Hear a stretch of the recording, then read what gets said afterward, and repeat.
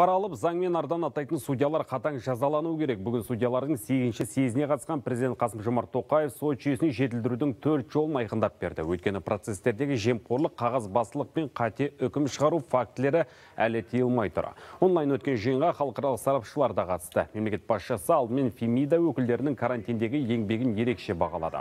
Қазір сот отырыстарының 95 пайызы онлайн өтіп жатыр, күніне 4,5 мыңдай процесс өтеді. Бірақ кемшіліктері жоқ емес. Президент әсіресе қоғам мен бизнес және инвесторлар тарапынан судьяларға деген сенімнің жетіспейтінін айтты. Сол үшін оларға процесс кезінде әлеуметтік желі мен журналистер тарапынан қысым жасала. Бірақ бұл мүлде әсер етпеуі керек. Мантия кигендер тек заңға бағынып шешімне үкім шығаруы тиіс деді мемлекет басшысы. Әрі судьяларды жұмысқаларда қатаң іріктеуден өткізу мәселесіне ерекше тоқталды.